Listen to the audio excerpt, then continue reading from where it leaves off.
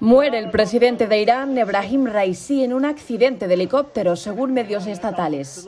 También ha fallecido el ministro iraní de Exteriores, Hossein Amir Abdollahian. Según la televisión estatal y la agencia oficial de IRNA, el suceso ha tenido lugar en una zona montañosa del noroeste del país. En la aeronave viajaban también el gobernador de Azerbaiyán Oriental y el líder de los rezos de los viernes de la ciudad de Tabriz, además de un número indeterminado de miembros de la tripulación.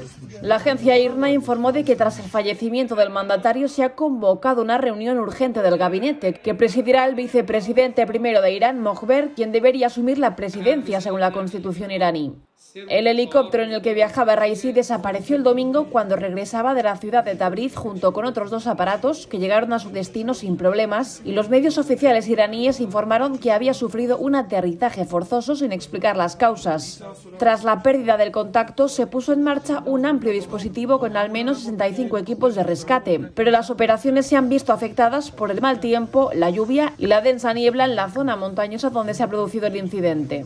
Raisi había inaugurado este domingo una presa junto con su homólogo azerbaiyano la Aliyev en la frontera entre los dos países, un proyecto que los mandatarios calificaron como un paso adelante en las relaciones bilaterales tras años de tensiones.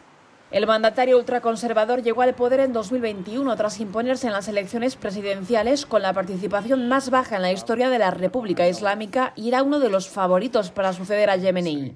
Durante su gobierno se ha intensificado la represión contra activistas, mujeres y críticos con el régimen.